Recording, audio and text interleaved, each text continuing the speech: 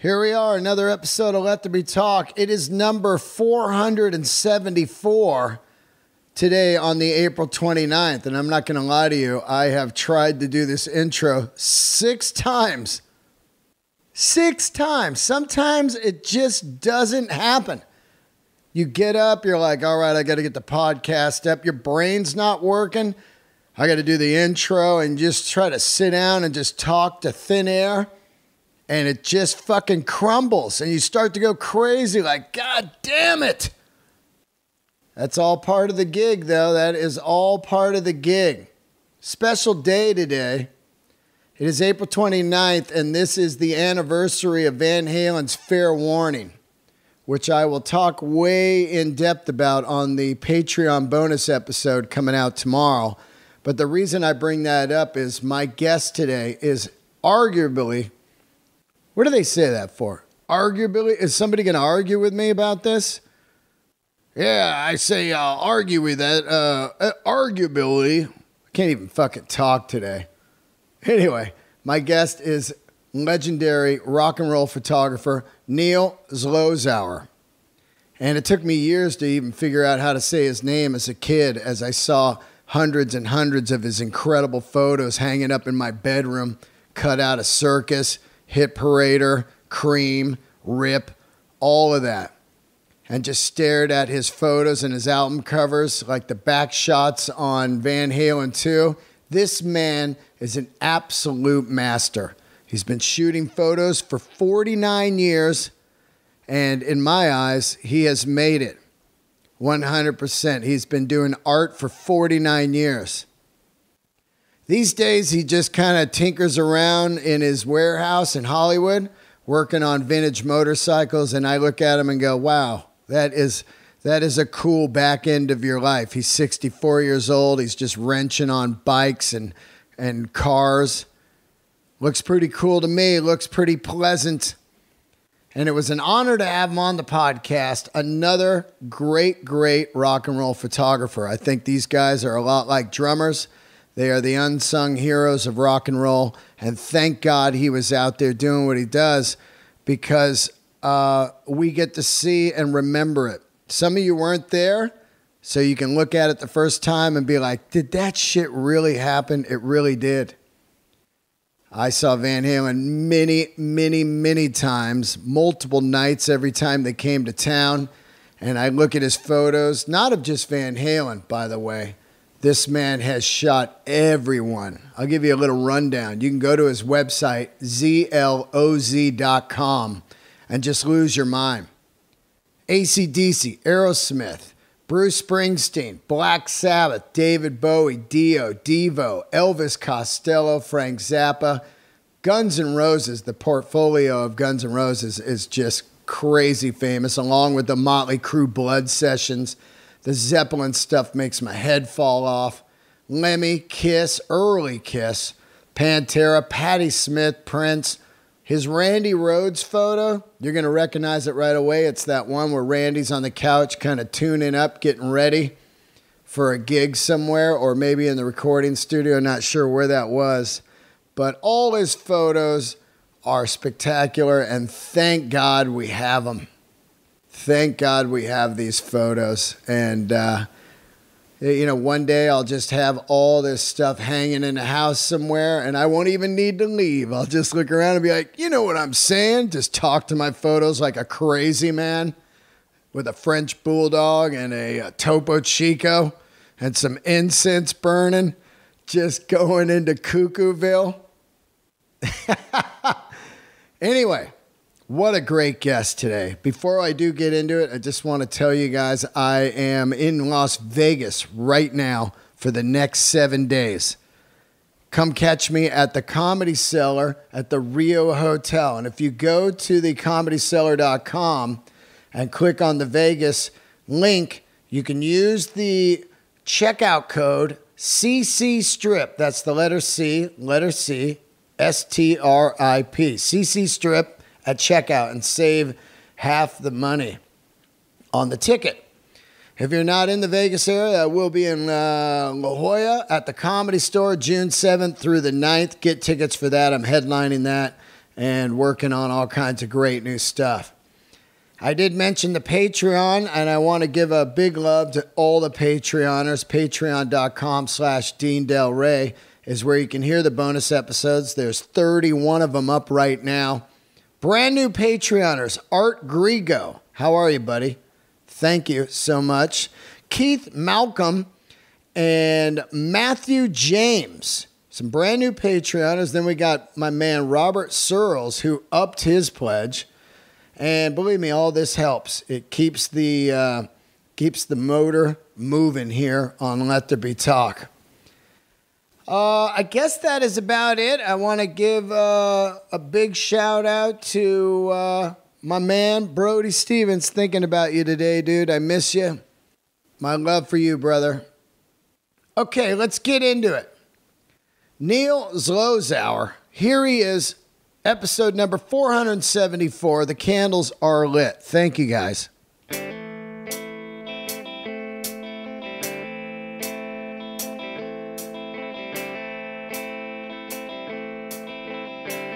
Oh, yeah, here we are.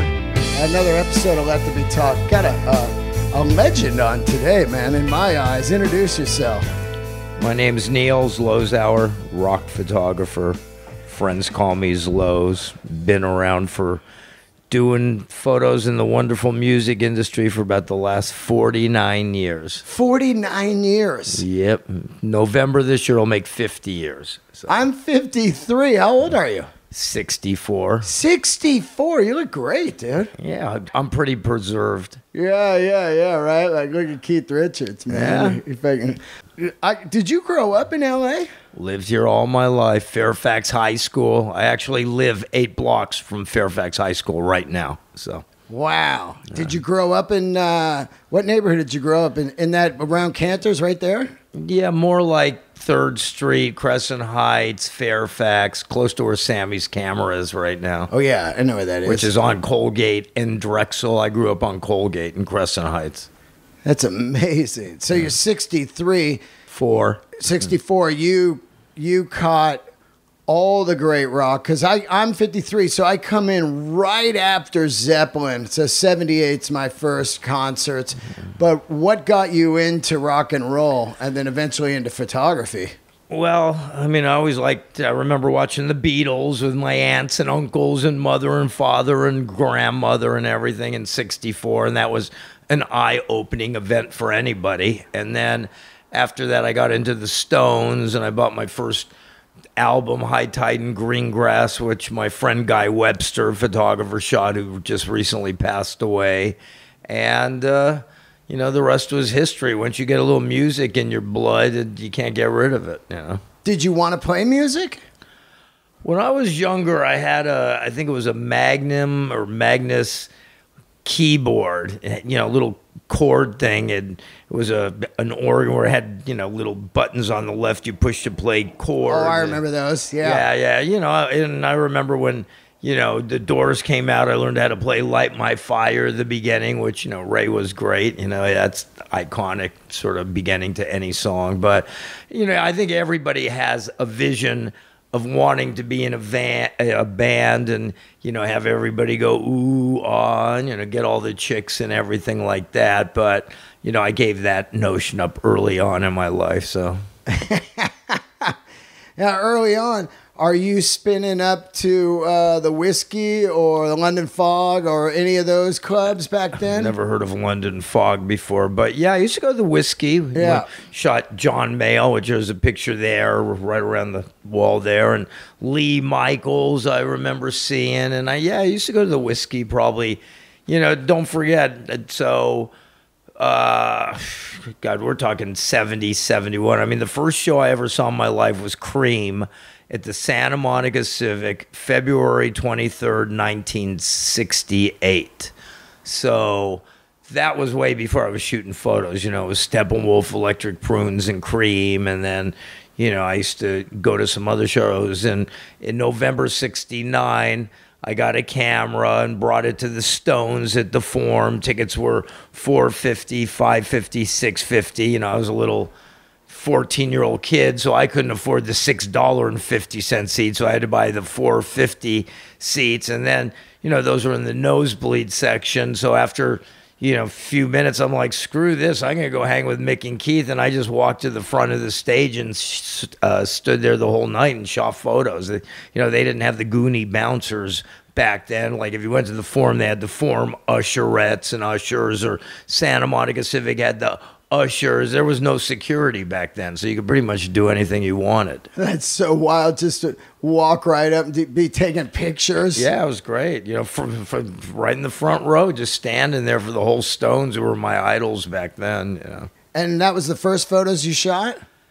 Pretty much. I think I shot some at the Hollywood Bowl with this camera I had that was a rangefinder camera that I never really knew how to work. I think it was Blood, Sweat, and Tears headlining, and Johnny Winter was the opener. But I consider the Stones in November '69 the first show I ever shot. What camera was that? Like a Pentax or that something? That was a Pentax H3V, and then I had a Vivitar 135 millimeter lens, which actually broke at that show. And what broke was the focusing barrel. So when you normally back then, there's no autofocus back then. You know, now nowadays the cameras aren't foolproof. The cameras are idiot proof. Anybody walking down the street, anybody in this world can shoot a picture, of a pretty good photo in this day and age. So but back then, there was no autofocus, no auto exposure. There was no window on the back that you look at and go, duh, the picture's too light. Let's make it darker. Duh, the picture's too dark. Make it lighter. you had to know your craft back then. It was film. And film was expensive to buy, and film was expensive to process. So there wasn't any room for errors which like now the photographers shoot 10,000 photos. Yeah. Three of them are good enough. And then they spend two weeks in Photoshop fixing those three photos. So Yeah. And they, they fucking overblast them. Yeah, they do that. I mean, yeah. you know, we had our tricks of the trade back when I was shooting too to take a bad photo and make it look good. Like you could do a bas relief or a solar a solarization or a reticulation. So those are little effects you could do in the processing or in the darkroom to take a, a lousy shot and make it look good. So what when you got home and looked at those photos, were they good? I thought they were back then. I mean, I still have some of them, and you know what I thought was good back then. I look at them now and go, "What was I on drugs or something?" Because they don't look so good compared to what I later honed in my craft. You know, I mean, you know, no one's good in the beginning with anything, whether you're a race car driver or you're a chef or whatever you of course. do. You know. When you're when you shot the Stones and you got this camera, how are you learning stuff? Were you learning in school? Did they have a photography class? I talked to a lot of photographers, and they're like, in school, I took a mm, class. Well, I had a class. I mean, my motto in life is if you want to do something bad enough and you want to do something good enough, you can learn it on your own. Like I had a lot of cars and motorcycles. I never went to auto shop or motorcycle shop. I learned how to work on them out of necessity. And I like to think I'm a good chef. So I didn't go to chef school to learn how to cook or anything like that. Same thing whether it's boning chicks, you know, you just practice makes perfect. you, you know, so same thing with photography. I, at one point in my life, whatever I do, I try to give it 5,000%. I don't want to be, okay, this is good enough. So, you know, and there's so much, there wasn't a lot of competition back then in the photography world. And everybody now is a photographer. Yeah. you know. Who was around when you, uh, like, that you were looking up to, like Jim Marshall or what Well, Jim on? Marshall to me is the greatest rock photographer that ever lived. Right. Okay, period. No one will come close to him, but he shot photos in a different day and, age. Like now, let's say you're Neil Zlozower, and I don't really shoot photos anymore. I don't have any desire to shoot photos anymore. Yeah. Okay. But now it's like, okay, Neil, we're gonna let the Red Hot Chili Peppers come to your studio. You have from 12:03 p.m. to 12:59 p.m. to shoot them. So do whatever you can in that, you know, 53 minutes or whatever, and do it. Back in Jim's day, he'd go hang with Jimi Hendrix or Janis Joplin, whoever. He would live with them. He'd go to the market with them. He'd do drugs with them. You know, he'd live on their floor. And it was more of a photo documentary style back then. It wasn't really, let's bring lights and do whatever. And to me, it wasn't until a friend of mine, Barry Levine, came around who did a lot of the early iconic Kiss shoots and Runaway shoots and shoots with ABBA and Queen, where he started building sets. And he actually took people and used their body and posed them with their arms and their legs so you didn't have like four idiots standing there like four schlubs with their shoulders up in the air and their hands down like duh what do you want me to do? You know? So so barry to me single-handedly changed the whole face of rock and roll photography. So once you shoot the stones and you're looking at this, you get that addiction and you're like, oh, I'm going to start shooting photos. Well, you know, when I was in high school, I always I always liked photography. And, and the way it started was one day, I think it was in 68, 69. 68, probably my aunt and uncle came down who were like the cool aunt and uncle, and they lived in Palo Alto. And I said to them, Oh, what's cousin Rick doing? And they were like, Oh, Rick got a camera and he's shooting photos. And I'm like, you know, 13 or 14. Oh, well, if cousin Rick can buy a camera, I'm going to buy a camera too. You know, so I bought a camera and just started shooting. You know, I'd go to the everywhere I went, I had the camera with me. Right. Now you will never see me with the camera. Period. but you know, I used to like walking down the Fairfax, which is a street where Cantor's Deli is. Of course. I like shooting the old Hasidic Jewish people because they fascinate me. And you know, I used to shoot, you know, my cars or whatever, and used to shoot friends, and used to bring the camera to school and shoot photos. I mean, I loved it back then. It was exciting and it was fresh, and you know, now it's old news after 49 years. Of course, I get it. If you do something forever, it's like, oh, Yeah. right. I mean, I've talked to a lot of the great photographers, and they all exactly have the same kind of frame of mind. Like, ah, I don't do that shit anymore. You know, well, you, you know, it's like, like you said, you get tired of the same thing. And in this day and age, like I said, the cameras are idiot proof. Yeah. And I wanted to go out on top. I didn't want to be one of these guys that, okay, Neil, you have a photo pass for Taylor Swift, and you got to shoot from the soundboard with a 500 millimeter lens. Yeah, fuck You that. know, I grew up and still, when I, first of all, you'll never see me at a concert shooting photos. But for instance, today, early, I was at John Five's house doing a shoot with him. And Monday, I was at John Five's house. And then last Friday, I was with Slash doing him. So I still shoot photos. But just not live photos. Right. Well, I want to have total control on what I'm doing, and I want to be able to light it, and I want to be able to go where I want to go and do what I want to go. I don't want someone to tell me you got three songs in the pit.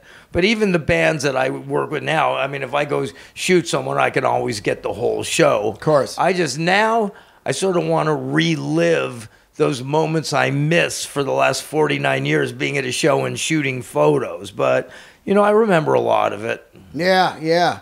I uh, always uh, I always talk about these dummies with their iPhones shooting the whole show, and they're not going to remember one thing. Where compared to I've been watching shows since '78, I remember everything for about. 30 years. In the last 10 years, I don't remember shit because I'm one of those idiots shooting some photos, you know? Yeah, I mean, you know, things have changed at, at rock shows and you know, I mean, you had venues like the House of Blues, which I called the House of Rules. Yeah. And when you're a photographer, don't go here, don't lean on the stage, you can't go here, you can't go upstairs, no, you can't go to the bathroom, you can't do this, don't do that. It's like, you know, just, you know, when you get my age, you want to be treated like some little kid anymore. Yeah, it's a burnout. Yeah. So you get up and running, you shot the stones, you get a little bit of the itch, and then how does it start to really start happening for you? Are you just shooting? You going to the clubs? What's going Well, on? Well, no, I mean, then I'd go see 10 years after. Then I went and saw The Who at Anaheim Stadium. And then, uh, who else? Canned Heat and Eric, Derek and the Dominos. And I'd always have a camera with me. And then I hooked up with this friend of mine, Todd Gray, and he had a uh, friend who used to make these phony backstage passes. Yeah, I do that too from the cassette cover. Well, no, we he would go to the art store and he'd buy little cards and he'd buy stick-on letters. Yeah. And he'd make this thing that said Greg Brown presents Derek and the Dominos, Santa Monica Civic, this date. And we'd go there, and like I said, they just had the ushers there. Yeah. So we'd show this to the ushers, and they're like, "Oh yeah, you could sit down in the aisle and just stay here the whole night. We won't bother you. Just do whatever you want." So. That worked for a long time. I mean, we had tickets. It just once we got in, Yeah, we went wanted- right to yeah. the front and did whatever. So I got a lot of shots there, and then you know sometimes I snuck my camera, and I remember David Bowie never let photographers shoot him, so one day I had to sneak a camera into the form, and there's the shot back there of Bowie. That I got. That's what from- year is that?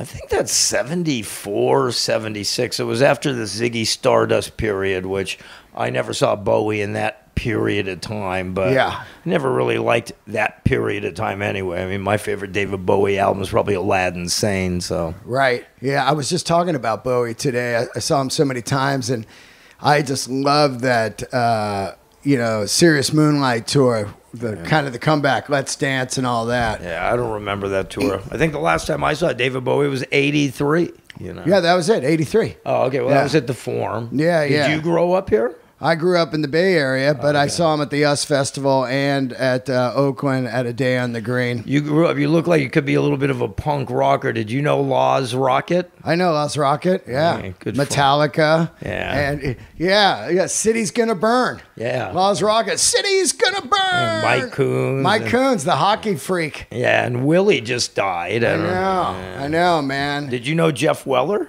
Joe, yeah, yeah, the manager? Yeah, absolutely. Good friend of mine. I knew everyone in the Bay Area. It was a small, tight scene, you know. Uh, and, and like I said, the the day and the greens were really where I learned everything about music because you would go and it would be Cheap Trick, ACDC, uh, Ted, Nugent, Journey, Aerosmith. Yeah. I know. I was Yeah. up there. Yeah, Van. Halen. Yeah, yeah. How does now? I don't want to jump too far ahead quick, but your Van Halen photos are absolutely the greatest photos of all time of this band. A- And, yeah, I would probably agree with you. no, there's no. At least no the arguing. David Lee Roth period, 78 to 84. Well, then there's I, no other period. yeah, Uh, I as mean- far as I'm concerned, there isn't. But let's let's get into this. So, while you're shooting photos, uh, I would go to concerts at the Cow Palace and the Oakland Coliseum and uh, Henry J. Kaiser, all these, and there was guys like you. They would shoot, and then they'd be in the parking lot selling these 11 by 16s, uh, black and whites that were amazing. I'd cover my room in them. You get them for like ten dollars. They were these big photos. Were you selling them, or what were you doing? No, well, I mean, actually, so the first shows I did, let's go back. So when I was a kid, I was a Rolling Stones fanatic, and probably four blocks from here on the corner of Wilcox and Hollywood, there was a record shop called Lewin's Record Paradise. And they were the only place in town that sold import records. So the import records, like for instance, you would go buy Jimi Hendrix Are You Experience Here, and it would have this picture on the front and this picture on the back and these songs.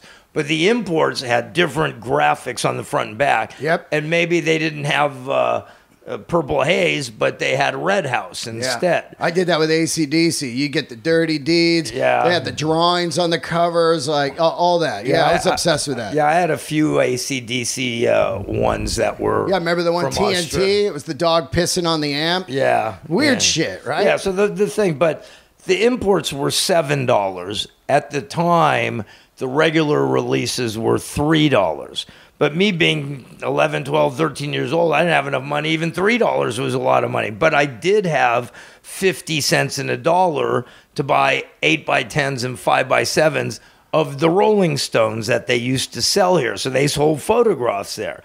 And me and my friend Kenny Kubernik, his brother's Harvey Kubernik, who you may have interviewed. I don't know if you've done Harvey or not. But anyway, me and Kenny, we'd take the bus, we'd get off at La Brea in Hollywood, we'd be going in and out of all the shops. And finally, we'd be like, we're getting closer, we're getting closer, we're getting closer. And then we'd get to Lewin's and we'd be like little kids in the candy store. Yeah, And we yeah. couldn't buy the albums because we didn't have the money. But oh, look at this shot of Mick. Oh, look at Brian Jones. Oh, look at Keith. Oh, I got to have this one. And then we'd take them home and put them on our walls at home Yeah. like fans. Yeah. I mean, that's how most photographers I know in the music industry started is fans. Yeah. So you know, then again, so.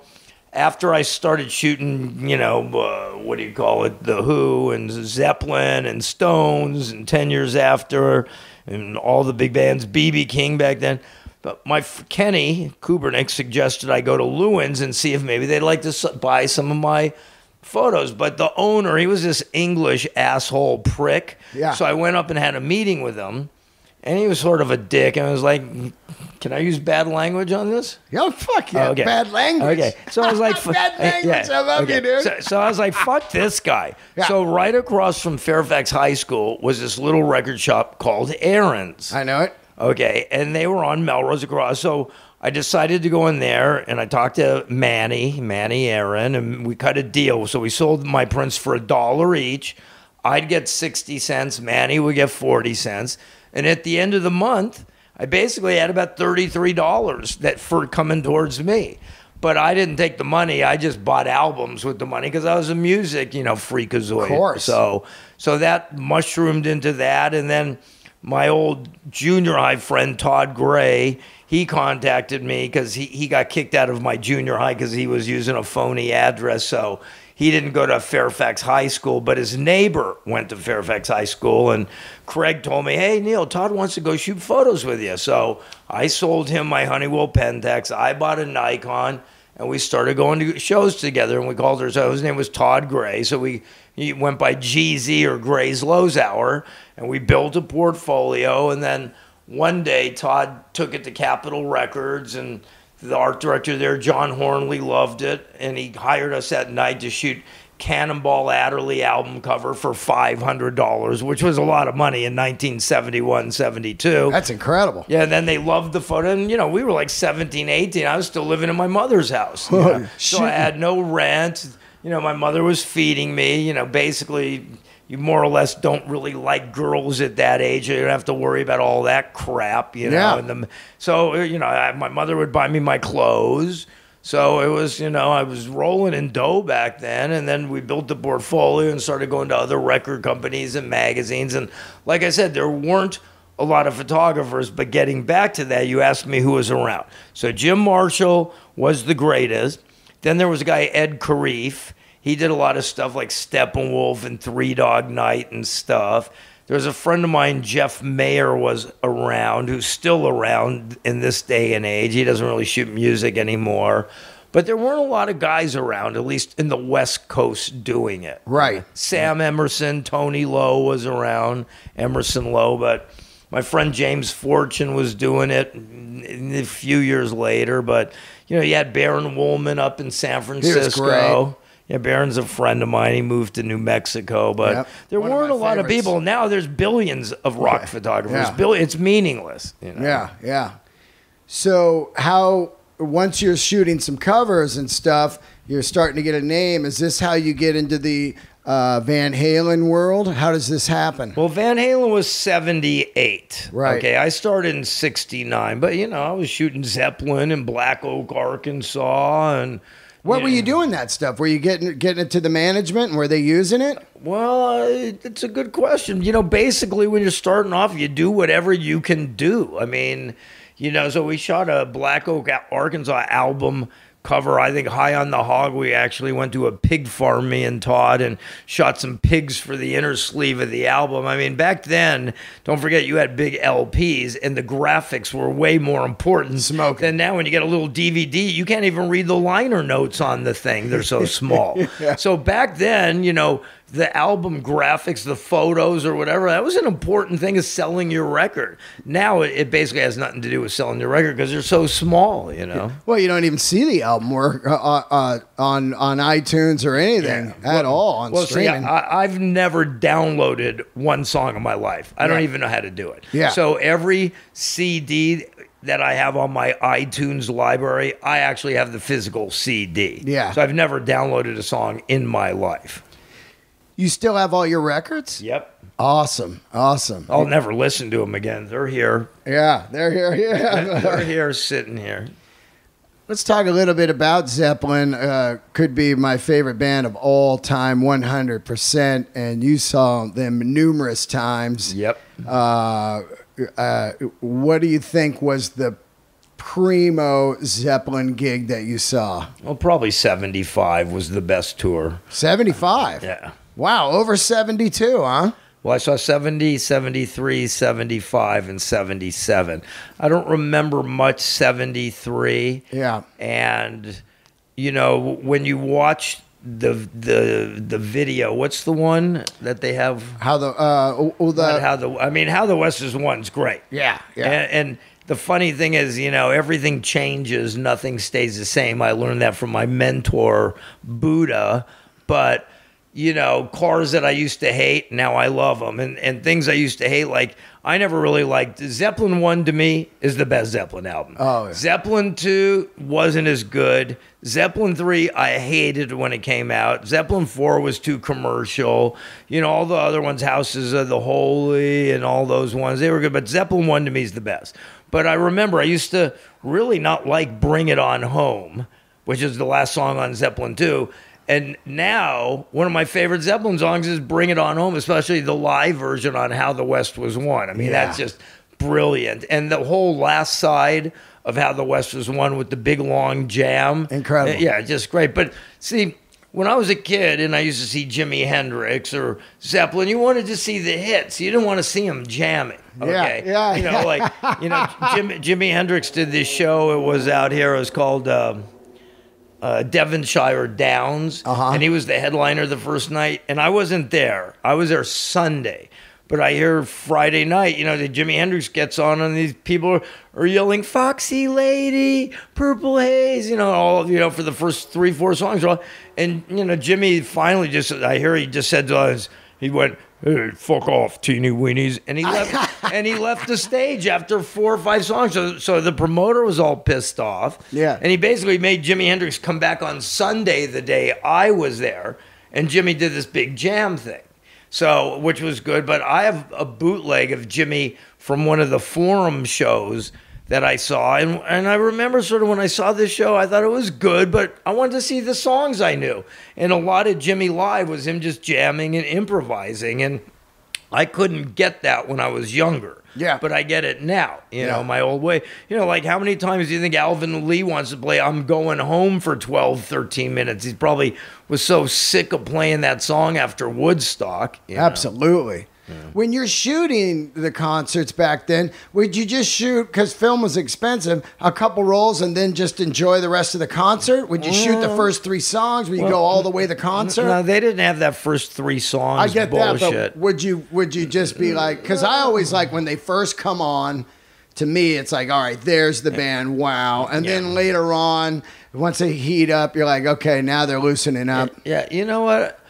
When I started as a fan, you know, I mean, first of all, I didn't even shoot color for the first two years. I think I remember in 72 starting to shoot color, but 69, 70, 71, I don't even think I shot color. And I used to develop my own film. And then I started shooting color, and then I started developing my own color film in my mother's kitchen sink. And that was a lot more involved than developing black and white, which is three steps. The color was more like eight, nine, ten steps. So it was more involved. But uh, no, I think I pretty much was more or less, you know, like that Who show from there. I probably shot two, three rolls of black and white film the whole show, but I try to make my shots count. You know, today there is no film and processing, so you put in a 32 or a 64 gigabyte memory Yeah, card, you could shoot 20,000 photos. Yeah. And like I said, you know, how many are great? You know, you don't see all the crap, garbage shit. You know, this guy, hey, look at this photo of whoever. It's like, yeah, it's a great photo, but you don't see the other 10,000 he shot to get the one good one. Yeah, know? yeah, absolutely. So would you shoot throughout the whole show? I mean, because I'm I just were- trying to oh, yeah. figure out uh, how you were watching the concert. Also, Well, I'd sort of watch and shoot, and you know, I mean, you don't have to keep the camera to your eye the whole time. Of course. But you got to be prepared for what's going to happen. I mean, Yeah. at this show, like here's a picture of Pete jumping. So obviously, if the camera was down here and I saw him jump, I couldn't pick it up in time to get him. But you yeah, know. I would go multiple nights. Like if Van Halen came in or ACDC, they played two, three nights. And then you would see pretty much what was going to go on. You're like, okay, this is where the fucking fire well, is going to be. what on the you column. learn. I mean, when I was on tour with Van Halen or whoever, you learn when this guy's going to jump up and down, and when the lead singer is going to bend over backwards, or when they're going to do whatever they do. You you learn that you know you know I was on tour with numerous bands from Ted Nugent to Aerosmith to Motley, Guns N' Roses, Van Halen, you know you name it. I've been there. Bon Jovi. You know. Yeah. And and how long when, when you'd go out with these bands would they be one, two, three weeks? A long time? Nah, there's no purpose to really go out. You know, three weeks. I'd go out.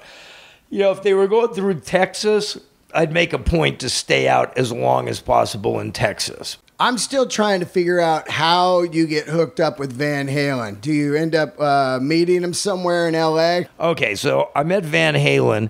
I was working in an office, and all of a sudden, Running with the Devil came on. I'm like, oh my God, this is amazing. And then it broke right into You Really Got Me in Eruption. I'm like, I got to work with this band. And part of being a great photographer is being able to tell which bands are going to be huge. Yeah. Because you got to get these bands when they're nobodies. Once a band becomes big, all the parasite, maggot, leech photographers come out and want to work with you. So you got to work with them when no one else is working with them. So I heard this band, Van Halen. Oh, you were working in an office? What? I was working in an office with three other photographers Neil Preston, Andy Kent, and Barry Levine. They had a company. I worked for them Yeah. at the time. That imploded after about a year because everybody had personality conflicts and stuff like that. So, so I heard Running with the Devil, You Really Got Me in Eruption. I'm like, I got to work with this band. So I found out who their management was. They're actually, me and Barry were hired to shoot the first Texas Jam in 1978. Amazing. Yeah, I think Heart was there, and Yeah. Ted Nugent, and uh, maybe Aerosmith. I can't remember, but Van Halen was early in the day. So I'm at the Texas Jam, and we had clearance to shoot everybody. Yeah. And I'm on stage. It's about 110 degrees, and this little short guy comes up to me. What are you doing on stage? Well, my name's Neil, and me and Barry Levine, we're hired by the promoters, and we have clearance to shoot all the bands anywhere we want. Well, you may have clearance to shoot all the bands, but you don't have clearance to shoot Van Halen, so get the fuck off our stage. Wow. And- back and- then, even. yeah, and this guy was about five feet three, had like Peter Fonda Easy Rider sunglasses, black leather coat, black leather pants, mace, handcuffs, black leather go- gloves. He was the most intimidating guy I've ever seen in my life. In the He- boiling hot sun. yeah, even at five foot three inches. Yeah. and that turned out to be their tour manager, Noel Monk Oh, no. Yeah. who later went on Wrote to management. Yeah, which has my cover on the book. So. Yeah. So anyway, I'm like, well, I guess I'm not shooting Van Halen. Okay, let's go in the audience and see if this band can deliver the goods. So they were amazing. Just blew all the other bands off stage. No shit. So when I and I knew they lived in Pasadena, so when I came back to LA after Texas Jam, I made a point to see who did their publicity, and it was a friend of mine, Bob Gibson, who I knew. He used to run the biggest publicity firm, Gibson Stromberg in Los Angeles. So I called him up and said, Bob, I want to work with Van Halen. Okay, Neil, let's set up a meeting. So he set up a meeting and I met all the guys at Bob's office. And about a week or two later, they were doing the last shows of the tour one in San Diego, one in Long Beach. I went and shot the whole shows later. And then they had a day on the green yes. where they probably were on one, two, three in the afternoon. I went up to that and I did a little impromptu backstage photo shoot with the guys. I saw those photos. They're incredible. It's got the yellow and yeah, the weird and reggae looking backdrop Yeah. there and back, and then Yeah. the, uh, the side of the stage photos are mon- yeah, mind blowing. those are good. So those are so- good. yeah, so so I I went. And then we had a meeting after, and they saw what I did, and then the next thing I was in. You know, because no one ever shot them like that. They had all these amateurs shooting them, and Yeah. you know, I guess. Dave didn't tell me back then. He told me a few years later. He goes, you know, Zloz, when we had that meeting at Bob Gibson's office, you know, we all played dumb, but we all knew who you were. We saw your photos in Creem and Circus and Shit Parader and all that stuff. know. shit parader. So So at the same time, you're you're start uh, ground zero Van Halen, but you are starting to get uh, photos into those mags. How is that happening? Just from you cold calling them or turning had them in? pho- I had photos in magazines before. I had photos in Circus and Hit Parader, and there was a magazine here called Rock. A guy Jerry Garvin ran that, and then uh, uh, I forgot what else. There was there was just I mean I was on the scene before Right. getting photos published. Guitar Player magazine that was probably the only guitar magazine, which is funny because I that's who I shot John Five for, and that's who I shot Slash for, and I did a Joe Perry, Brad Whitford shoot for him, and a Don Phil. So I'm that's probably the only client that I still shoot for is Guitar Player. Did you shoot that Eddie Van Halen his first cover where he's got the snake guitar on Guitar Player? That was Guitar World. Guitar World. Did you Yeah, shoot that? yeah, I shot God, that. that fucking guitar, huh? Yeah. I mean, Yeah. uh, one of the amazing things you did and what Baron did was you shot the guys, but you also shot the instruments, which with these guys, let's say your Randy Rhoads photo where he's on the couch and there's three sitting there and he's got those are such iconic guitars, and then Eddie Van Halen's whole line of guitars.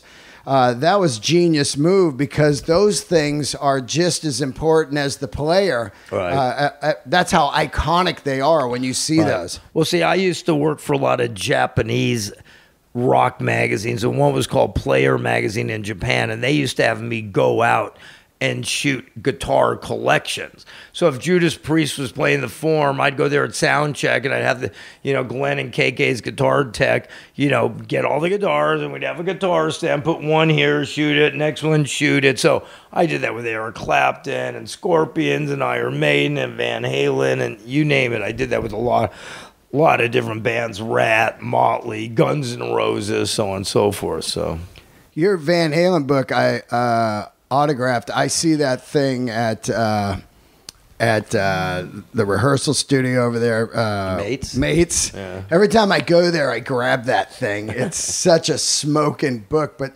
To look at that era of Van Halen, so you shot him from 78 to 84. Were you starting to see the wheels fall off? Was there like all of a sudden, uh, get Neil out of here? Any of that? Well, not with me. The wheels didn't fall off, Right. but just the band in general. There's a lot of tension. Know, you know. I've seen this with every band, whether it's Motley, Ratt, Poison, Van Halen, Guns N' Roses. They all start off as the best of friends. Okay, and they're living in a one bedroom apartment. You know, five, six, seven people, sometimes roadies, and they got no money, so they're eating McDonald's and Jack in the Box, and they, you know, all are boning the same chick, and you know they're all the best friends. And then once they start making money, like for instance, this guy goes and buys a car and he buys a Lexus. Well, this guy's got to outdo him, so he's got to buy a Mercedes, and then the other guy's got to outdo him, so he goes and buys a Ferrari or a Lambo or whatever. And then this guy's got a girlfriend; she's got a 38 inch chest, so he's got got to buy his chick bigger tits, so she's got to get a 40. You know, and it just every it all falls apart. You know, no bands when they get big, whether it was Ratt or Ma, they all start hating each other. You know, they just did.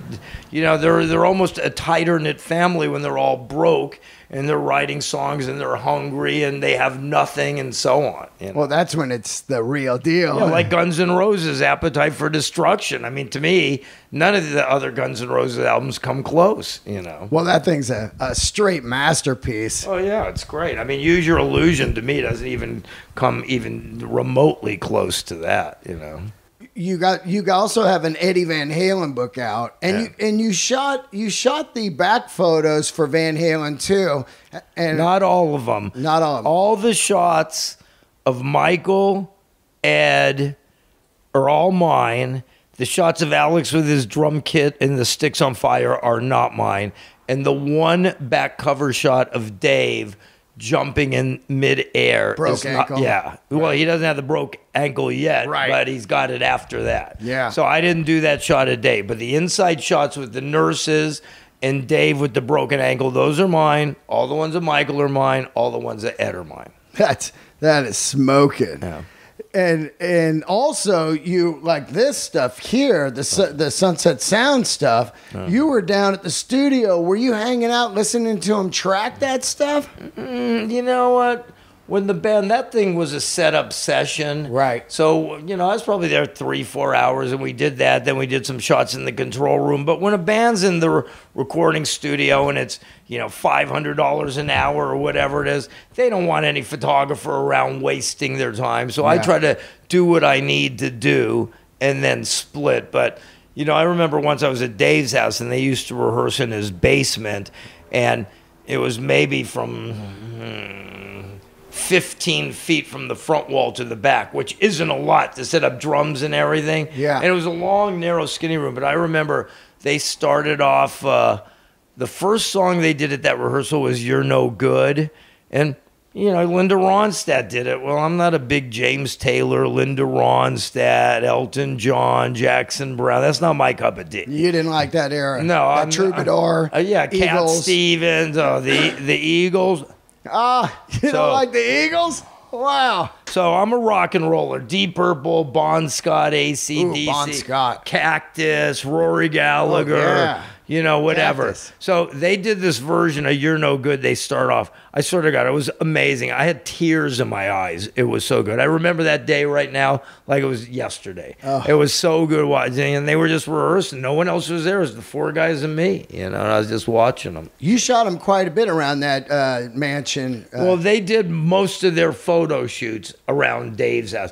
As a matter of fact, even after Dave, the band, you know, came to an end, and after the 1984 tour, and I continued working with Dave in '86. Dave, we used to do a lot of shoots at Dave's house. I mean, Yeah. it's a pretty humongous mansion, you know. that place is crazy, right? Now, was that his dad's place and he gave it to him? I don't think he gave it to him. I don't know what happened exactly. But That thing is insane. Yeah, but that house need, needed a lot of work and stuff like that. Yeah. It wasn't just a pristine, you know, thing. It there was Right. It had its issues. Old rundown Pasadena mansions they got yeah, up there. yeah. That you know, probably all the wires in the wall were cloth braided wires from the old Oh, days. yeah, of and, course. You know, you'd be. You know, taking a shower and someone flushed the toilet, and probably the Freeze. Yeah, exactly. So it may look big and impressive, but you know. Yeah. Let's talk a little ACDC. Of course, Bon Scott being my favorite. I got him tattooed on my love side here. Bon Bon. You know. Yeah, you, I, I know you shot the Highway to Hell tour. Well, actually, it's funny because ACDC, I used to go on tour with a lot of bands like Day on the Green and stuff, and ACDC would always be on the bill. Always. But I, I never used to go watch them. I'd be always hanging with the headliner in the dressing room. And then one day I was at a midnight special with Aerosmith, Cheap Trick, Ted Nugent, and ACDC. Oh, shit. And ACDC gets on stage and they did Sin City. Well, Sin City, I never knew who sang that song. But it was one of my favorite songs. I mean, how could you not like Sin City? Yeah. So all of a sudden the band gets up there and they're all like, this is the fucking band that sings Sin City? You mean I've been on 50 tours and ACDC's been on those 50 tours and I never once bothered to go out and watch them? And I saw Angus with a little schoolboy outfit and spinning around. I was like, so, so I got to see him with Bon once at Long Beach. Oh, yeah. And, and that Highway was to Hell tour. yeah, Oh, and that yeah. was the only time I ever saw him live with Bon. Oh, man. And you shot photos. I only saw one on your website, but did you get a lot from that night? Not really. I, I don't know what. By then, I don't know if I. I remember going there and a friend of mine met me and I wanted to watch his show more, but I didn't shoot a lot. But I had this one great shot of Angus with Bon in the back. I saw that. yeah. Saw that. that And I have shots from the Midnight Special too, but Yeah. you know.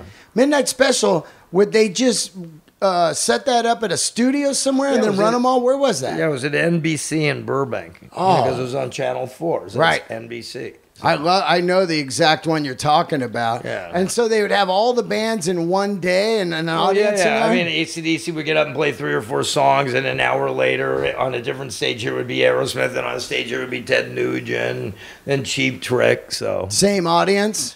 If yeah, more or less, if they wanted to stay, I was there shooting it, so we stood. But you know, it was a long day. It could have been. You know, get there at eleven or twelve in the morning, and you know, we would shoot the sound checks. We didn't shoot the actual shows because they can't have photographers running around. Yeah, and- yeah, there's cameras so we would always have to shoot the sound check. We were never around for the actual shows. Out of all the bands, who did you uh, like? What was your who was your favorite, and who did you start to hang with? Like maybe off of uh, work, That's probably Van Halen. Van Halen. I mean, you know, Motley Crue in its day, you know, Nikki me, Nikki, and Robin Crosby, we were like the best of friends. Oh, so, Oh, wow. You know, in 1984, we all went to, you know, Club Med down in Martinique together. I think Nikki wrote about that in The Dirt or whatever. Yeah, but- yeah. but you know, so I spent a lot of time with Sixx, and Robin Crosby was one of my best friends. All the Ratt guys, you know, and Joey Allen from Warrant, he's a good friend of mine. And right now, you know, a good friend of mine is this Sly guitarist who's insane. His name's Eric Sardinas. I don't know if you know Eric, but he's incredible. This guy, you know. So, but uh, now in my old age, I don't really do much of anything. I mean, I don't. I I'm here. I go home at three thirty. Stop at the market every day. Go home. Take my dog to the dog park. Hang out with the other old geezers like me.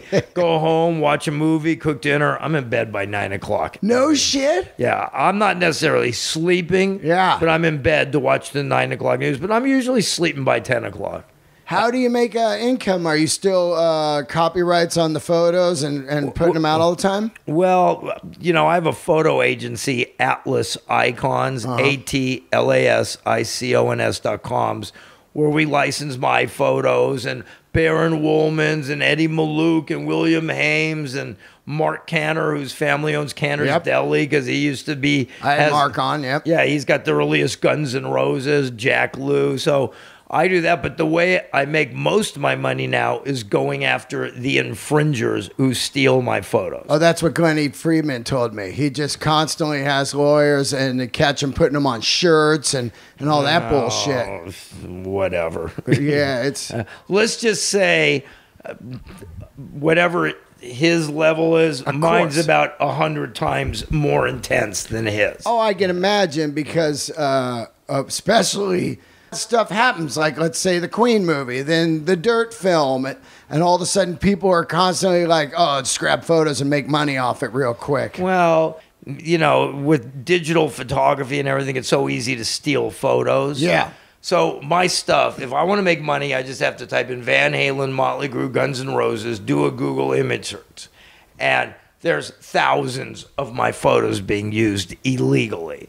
And we only go after the one people with money. Yeah. But I mean, even right now, I probably have five active lawsuits going as we're doing this inter- uh, this interview. No shit. Yeah. And and and what what kind of companies are they? Are they using them for shirts or No, it's mostly just internet stuff. There's, I mean, look, all the people who do shirts like this, it's like they're all bootleggers. They don't have any money. How are you going to sue him? You can't sue the bootleggers. They're Yeah. professional thieves. We go after people basically that use them on their internet sites and they have money. You my lawyer's pretty sauve about that. I love the guy and so you know, you don't go after someone who's got it, one of your pictures on Facebook or Pinterest or Yeah. Instagram. So all my iconic images are copyright, copyrighted with the United States Library of Congress slash the Copyright Office. That's where the big money comes in. Yeah. So you can't even you can't even sue someone in court until your photo's registered. But the big money comes in if the photo's registered first, then someone steals it. If someone steals it and then you register, you don't get the statutory damages. Oh shit. So, you know, so you can't even go to court. Eh, Let's say I see a photo that Pete Townshend yeah. and someone uses it. If I want to go to court, I have to register that image first before I can even take this guy to court. But then the infringement already happened, so you don't get to go for the statutory damages. Oh, so you got to have them all registered way back, and then Right. start searching. Oh, this guy's been using it for two years. I've had it No, registered for. Well, on the internet, you could usually there's a date Yeah. when the story was initiated. gotcha. So you just look at the date. Okay, this is 2017. Then I go look. Well, that Motley photo was registered in 2013, four years before the 2000. So okay, we're going and we're going for statutory damages. Wow, wow. Now you have a. Do you have a documentary coming out? I Well, it's actually out. It's been out since December. okay. And where can people see that? Well, if you have Amazon Prime, it's now free. Originally, even if you had Amazon Prime, you either bought it or rented it, but it's on iTunes Store, Google Play, Amazon, Amazon Prime, or Vimeo on demand. Oh, I gotta watch that. Yeah, it's pretty entertaining if I do say so myself. As a matter of fact, Pussycat, the girl who just called me, she's in that documentary. Yeah, yeah. Well, now we're sitting here in uh, a great location in Hollywood, and you've got a, a bunch of motorcycles, and I am a motorcycle freak. When did this come about? Uh, I, s- I started collecting bikes in about 1990. and w- what were you starting with? Were you riding? Uh, No, actually, the first bike I bought was a 68 Triumph Bonneville, and I actually bought it thinking it's a piece of art. I mean, to me, motorcycles, at least the ones I like, are pieces of art. Not all motorcycles, but so my initial plan was to restore it because I was already into cars. I'm into cars too. I got quite a few cars. But what do you got? 54 R Type Bentley, 62 Chrysler Imperial, 64 Jag XK Roadster, 65 Corvette Stingray Roadster, Ooh. 1991 Acura NSX. Oh, an NSX. 2001, not 91. Oh, 2000. my buddy Ross Robinson had that, the producer. Yeah, I think. No, I don't know. Wait, do I know? Ross? Yeah, you probably know Ross. He did Slipknot and all those all those bands. Well, I yeah. did the first. I did the second and third Slipknot album cover. Right, So, As a right. matter of fact, Sean's in my documentary. so you got NSX, and how many cars you got? Well, five vintage. Yeah. I had six, but one of them was a 70 Roadrunner convertible, Oh, very yeah. rare, Yeah. that I gave to this piece of white trash. That basically I gave it to him in 2011 to do a ground up restoration. I still don't have the car back, but Oh. uh, that that's what happens when you deal with drug addict trailer trash. I had a So- 69 Roadrunner convertible R1 red. okay, that's R1 cool. red. 383. 383, Yeah. uh, four on the floor, uh, black top, and then I traded it for a restored 70 Dodge Super B B5 Blue. That's the best color. B5. B5 Blue is beautiful. I know. Well, my, my Corvette's Nassau blue. The same thing, yeah. Yeah, close, not Yeah. quite, but the B5 blue's It's my favorite best. color. Yeah. It is the best. Except one's a convertible, one's a hardtop. But in my old day, in, in my old age, I don't really like the sun too much. I don't like it either. No, Uh, and I don't like how uh, convertibles whistle and you, you leak. Yeah, well, you get and more wind noise. moldy. Yeah. And, and it's a muscle car. It shouldn't be a convertible. Even though the Mopar Cuda convertible Hemis are worth a fortune, I'd much rather have a, a hard top. Yeah, yeah, I like the hard tops at my old age. You know, So what do you got bike wise here? You got uh, I got too many to name. yeah, you got how many you got? Twenty three. Twenty three bikes. Yeah, And do you ride them? Every single one. Every single one. And, and and no it's mostly Triumphs and Hondas and stuff, right? What do you got? Triumphs, Hondas, BSAs, Laverdas, Moto Guzzi's, Benellis, Aermacchis, BMWs, Royal Enfield, Shit. Ariels. Uh, Got any La- Crockers? Nah, I, I don't like those honestly. Really? They remind me of Harleys, and I'm the only Harleys I like are Aermacchi Harleys, if you know what those are. Yeah, yeah, yeah. So, wow. I, I'm not a Harley guy. I don't like Indians. I don't like Harleys. Uh, Crockers do nothing for me. Yeah. Absolutely nothing. Z- zero. you know. Zero. Yeah. you almost get angry on it. Fuck those things. Well, it just to me it looks like a Harley, and Yeah. I don't like Harleys. They're big, fat, loud, ill handling, obnoxious, and you know I go to the rock store on the weekends, and I see most of the people who ride those bikes, and I'm like, I don't want to be associated with that. yeah, you know, I so- got you. A lot of them are. Uh, they don't even ride. Well, they they you know they're weekend warriors. They're like doctors and lawyers, and then the weekend comes, they put on their big Harley coats, and you Yeah. know that's Yeah. I my bikes to me are all pieces of art. And mechanically, you know, I do all my own work on my bikes and I maintain them and everything. And I enjoy that as much as riding. If something happened to me and I could never ride again, I'd be fine just working on bikes. you Yeah. know, so because I like uh, enjoyment, sort of mental therapy. Are you a comedy guy at all? You like comedy? Uh, yeah, yeah. I mean, I don't go to the comedy store or the improv. I, I live three blocks from the improv. Yeah. Never go there. You But- should go. I think you dig it, man. I mean, I like watching Martin Lawrence. Yeah. And uh, what's the guy with Jackie Chan? I love him. The the black. Oh. Chris Tucker. Yeah, he's great, but he he's only great with Jackie Chan. Those two are great together. Like Jackie Chan. Without Chris Tucker, I don't want to watch a Jackie Chan movie. you Yeah. know, but you know, he, but I like you know comedy. I mean, the first Eddie Murphy stand-up comedy, I couldn't- Delirious. yeah, that one's out of control. One of the funniest things ever. And you know, Richard Pryor was great. So Well, okay. I can't thank you enough for doing the show.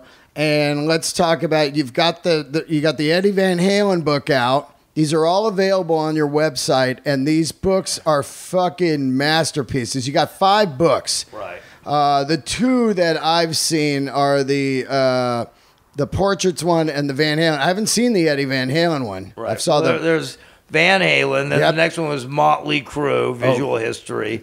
Then there was the Fuck You Rock and Roll Portraits. That's the one I saw. Comp- compilation. Uh, yeah, because I don't even have the Motley or Six String Heroes. I don't even have any of those anymore. they're all gone. yeah, they're sort of hard to get. And then the Eddie Van Halen book. So The Eddie Van Halen book. Wow, I, I haven't seen that yet, but uh, just your photos of, to be around at that time still to me it's just I can see I talk to a lot of people where they're like, "Hey man, you're gonna go see such and such?" I'm like, I saw him ten times from '78 to yeah, yeah. And none of the bands now are, are the original member. Go see Foreigner, and Oh. maybe Mick plays guitar. Maybe. maybe, but Maybe. you know, whoever it is. I mean, you know, I mean, Motley was Motley, but whatever. And Bon Jovi's not the original band. The Who's not the original band. Yeah. Heart's not. There's no more Heart. I guess the sisters had a fight. No, they're back together now, fi- which is great. Well, yeah. I guess they want to make money. know, so. Well, I mean, uh, it, it's it's rock and roll.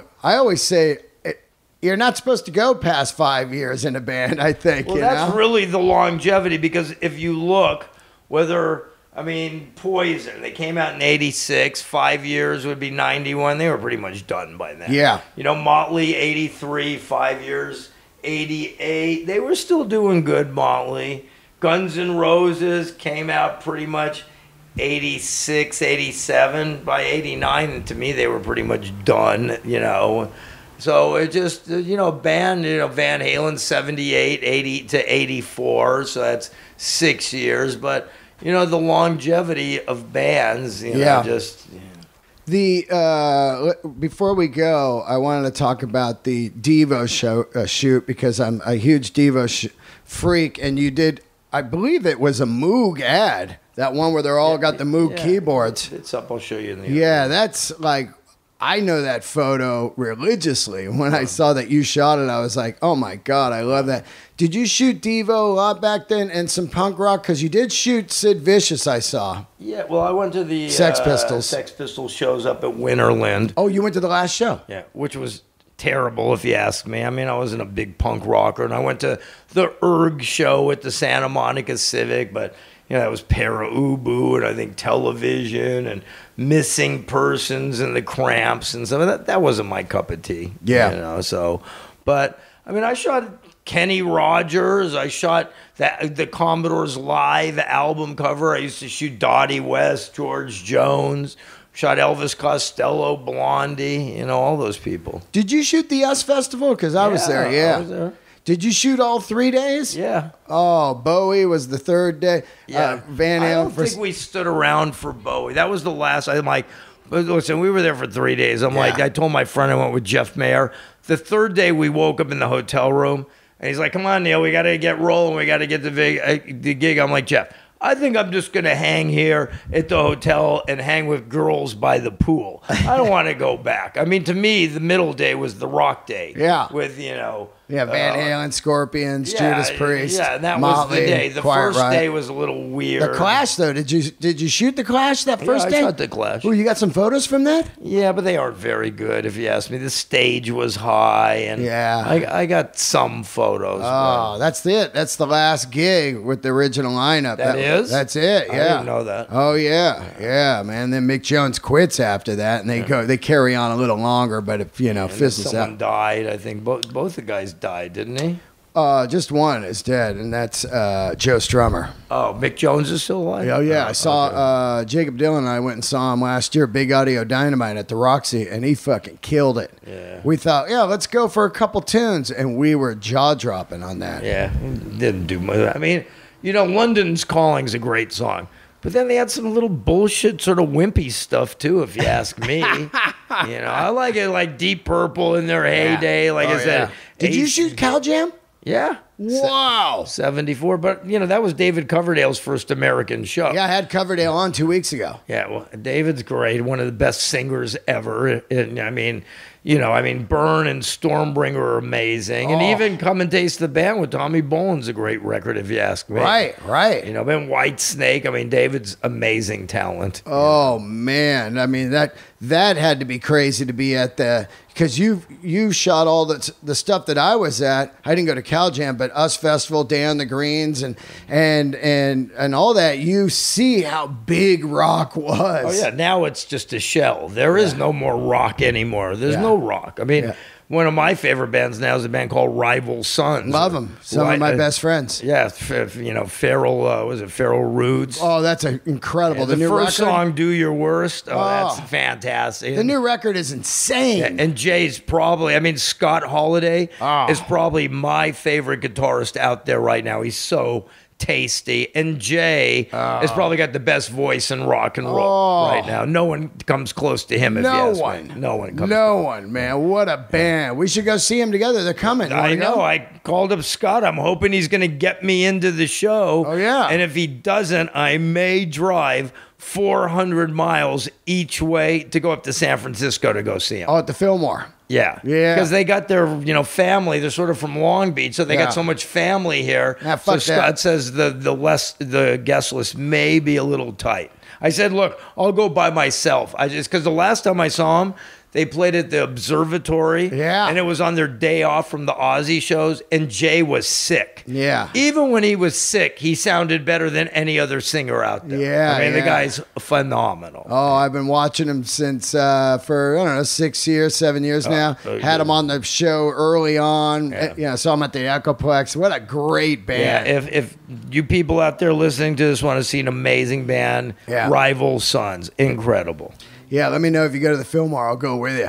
Okay, well I'm gonna stay at this chick's house that I Oh, I'll- I'll- used to uh, whatever. Yeah, I don't care. I got many. Uh, that's where I'm from. Oh yeah, so, you're from. Yeah, I can stay. Do you know a friend of mine, Josh Withers, photographer? No, You know Christy Nishiyama? no photographers. No, no. Oh, no. Well, Josh is a photographer. Right.